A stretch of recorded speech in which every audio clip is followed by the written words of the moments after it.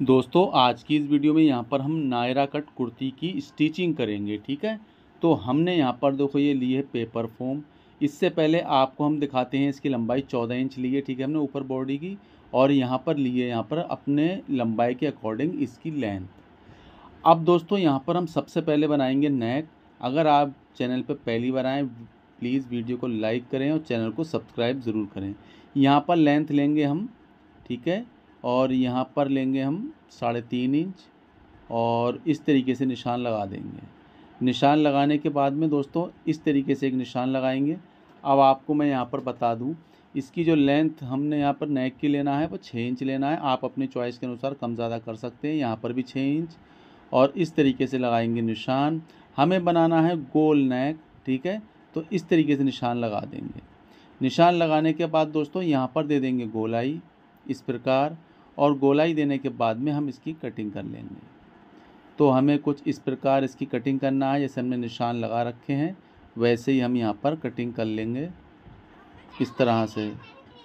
अब दोस्तों, यहाँ पर हमने इस तरह से नेक को कटिंग कर लेना है। इस प्रकार। अब नीचे से जो निशान है, इसके बराबर यहाँ कटिंग कर लेंगे। ठीक है? इसको हम कर लेंगे पेस्टिन यानी कि इसको अपने कपड़े पे हम चिपका लेंगे।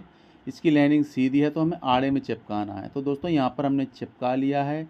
चिपकाने के बाद दोस्तों, इस तरीके से हमें इसको रखना है और यहाँ पर ट्रायंगल लेस ये वाली हमें लगा देना है। तो दोस्तों, हम इसे किस तरीके से लगाएँगे?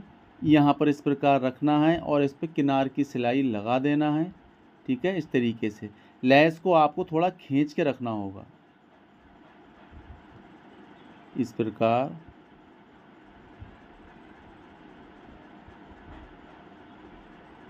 इस तरह से यहाँ पर लगाना है। अब यहाँ से हम इसको मोड़ लेंगे, ठीक है? इस तरीके से, जिससे इसमें मुड़ाव आ जाए और यहाँ पर हमारी लेस अच्छी तरीके से लग जाए। तो यहाँ पर हम इस तरीके से इस पर सिलाई लगा लेंगे।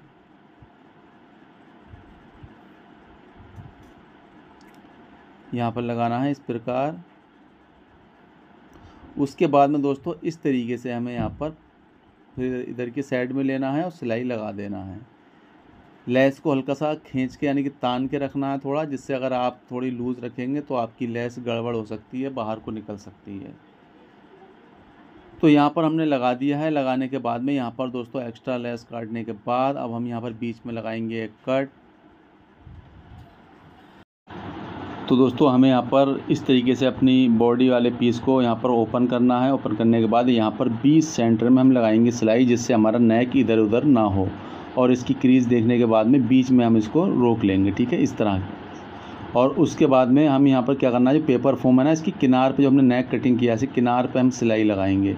यानी कि हमें पेपर फोम के ऊपर नहीं लगाना है, उसकी जड़ में सिलाई लगाना है। तो इस तरीके से सेट करते चले जाएँगे अपने नेक को और सिलाई लगाते चले जाएँगे। तो दोस्तों, यहाँ पर मैं आपको प्लेटें डालना ही बताऊँगा, नायरा कट कुर्ती में जो बहुत ही सिंपल तरीका है, ठीक है, बहुत आसानी से आप डाल पाएँगे। तो इस तरीके से हमने सिलाई लगा दी। उसके बाद में यहाँ पर हम इसका मार्जिन कटिंग कर लेंगे और मार्जिन कटिंग करने के बाद यहाँ पर लगाएँगे राउंड एरिया में जहाँ राउंड है, यहाँ कट लगा देंगे इस तरीके से। ठीक है, यहाँ पर भी कट लगा देना है और इसको हम पलट लेंगे। इस तरीके से नाखून लगाने के बाद इसको हम पलट लेंगे। नाखून इसलिए लगा रहे हैं कि मतलब जब हम पलटें तो ऊपर को ना निकले उसका नीचे वाला हिस्सा। तो इस तरीके से बराबर रखेंगे और यहाँ पर हम किनार की सिलाई लगा देंगे। तो दोस्तों, इस तरीके से हमें किनार की सिलाई लगाना है। आपको आराम आराम से खूब रोक के लगाना है, जिससे हमारी राउंड जो नेक का है, वो ख़राब ना हो। ठीक है? बहुत यहाँ कोई जल्दबाजी आपको नहीं करना है। तो इस तरीके से यहाँ पर हम लगा देंगे। इस प्रकार। तो दोस्तों, यहाँ पर सिलाई लगा दी है। अब हमें अपने पैच को रोकना है। पैच को रोकने के बाद में यहाँ पर लगाएँगे सिलाई, ठीक है? अपने पैच को देखो तो बिल्कुल सेंटर में रख लेना है इधर उधर ना हो, क्योंकि हमने फ्रंट में भी क्रीज़ बना ली है, अपने पैच में भी क्रीज़ बना ली है। इसको हमें देखते हुए, मिलाते हुए सिलाई लगाना है। दोस्तों, इस तरीके से हम यहाँ पर पूरे पैच में सिलाई लगा देंगे।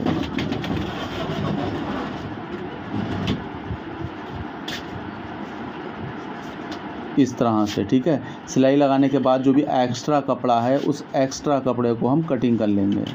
दोस्तों, यहाँ पर हमारा नेक बन चुका है। अब इसको हम अपने बैक पार्ट भी जोड़ लेंगे इसके अंदर, ठीक है? तो हमें यहाँ पर इसका बैक पार्ट जोड़ लेना है। तो यहाँ पर देखो, हमने बैक पार्ट जोड़ लिया है। ये है हमारा नीचे की घेरी और इसमें हमें प्लेटें डालना है इस तरीके से, ठीक है? गेदर डालेंगे हाथ से। तो गेदर हमें डालना है कुछ इस प्रकार। हमने लिया है यहाँ पर ये फ्रंट। इसमें घूम थोड़ा कम है, अगर ज़्यादा घूम है, आपके पास तो आप खूब प्लेटें घनी करके डाल सकते हैं। दो इंच के बाद आप प्लेटें डालना शुरू करेंगे, ठीक है? इस तरीके से प्लेटें डाल सकते हैं। तो ये गेदर नुमा है। अगर आप चाहें तो वैसे प्लेटें भी डाल सकते हैं, जैसे हम शलवार में डालते हैं, मगर ये बेहतर रहती हैं। अब जहाँ पर दो इंच रह जाए, वहाँ पर हम प्लेटें डालना बंद कर देंगे। इस तरीके से ना, लेने के बाद प्लेट डालने के बाद में अब हमें अपने इस वाले साइज़ को दोनों को नाप के देख लेना है कि कोई भी हिस्सा हमारा छोटा बड़ा तो नहीं है। ठीक है, अगर छोटा बड़ा है तो आप अपनी, बड़ा है तो थोड़ी प्लेट डाल सकते हैं, छोटा है तो एक आध प्लेट निकाल सकते हैं, ठीक है? तो इस तरीके से हम रखेंगे और रखने के बाद में यहाँ पर सिलाई लगा देंगे। आपको ये प्लेटों वाला हिस्सा ऊपर ही रखना है और जो बॉडी वाला हिस्सा है वो नीचे रखना है, क्योंकि हमारी प्लेटें अगर नीचे रखेंगे ना प्लेटों वाला हिस्सा तो नीचे प्लेटें दब सकती हैं। तो इस तरीके से हम यहाँ पर सिलाई लगा देंगे। सिलाई लगाने के बाद में दोस्तों हमें बैक पार्ट भी इसी प्रकार प्लेटें डाल के ज्वाइंट कर लेना है। ये हमारा तैयार हो गया। इसी प्रकार हम ये वाला हिस्सा भी ज्वाइन कर लेंगे प्लेट डालने के बाद। देखो, हमने ये भी तैयार कर लिया है बैक और फ्रंट दोनों। अब दोस्तों हम क्या करेंगे? यहाँ पर जो हमारे ज्वाइंट वाला हिस्सा है, इस पर कर लेंगे ओवरलॉक जिससे धागे वगैरह ना निकलें। अब यहाँ से हमें साइडें जोड़ लेना है इस प्रकार।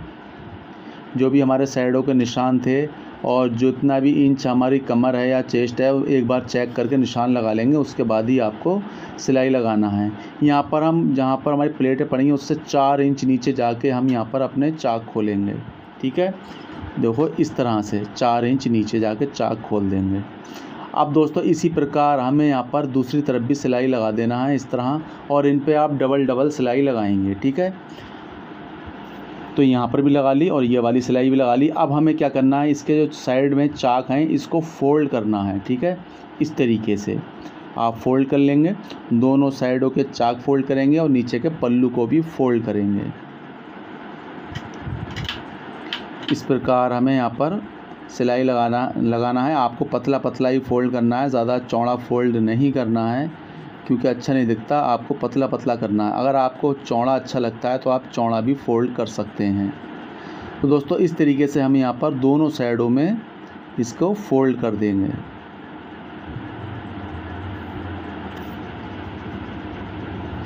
तो दोस्तों, हमने यहाँ पर चाक फोल्ड कर दिए हैं। चाक फोल्ड करने के बाद में हम इधर के चाक भी फोल्ड कर लेंगे। तो दोस्तों यहाँ पर हम दोनों ये फ़ोल्ड कर देंगे। यहाँ पर हमने फ़ोल्ड कर दिए हैं। दोस्तों, यहाँ पर ये कुर्ती हम बनाते हैं ना नॉर्मल सादा कुर्ती, उससे कम टाइम लगता है। लगता है कि यार ये बहुत कठिन है सिलना। तो दोस्तों, यहाँ पर हमारी कुर्ती हो चुकी है, बिल्कुल तैयार। आपको हमारी वीडियो कैसी लगी प्लीज़ कमेंट्स करके बताएँ। आपको हमारी वीडियो अच्छी लगी हो प्लीज़ वीडियो को लाइक शेयर करना ना भूलें। मिलता हूँ मैं आपसे नेक्स्ट वीडियो में। Thanks for watching